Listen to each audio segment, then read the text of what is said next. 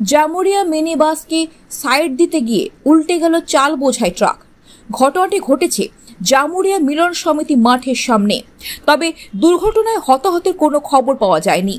স্থানীয় সূত্র থেকে জানা গিয়েছে, আসানসোল থেকে জামুরিয়া দিকে চাল বোঝাই ট্রাকটি যাচ্ছিল। হঠাৎই মিনি বাসটি সামনে চলে আসায় সাইড দিতে গিয়ে চাল বোঝাই ট্রাকটি উল্টে যায়। দুর্ঘটনার ফলে ব্যাপক ভিড় জমে যায়। খবর পেয়ে ঘটনাস্থলে জামুরিয়া থানা পুলিশ পৌঁছায়।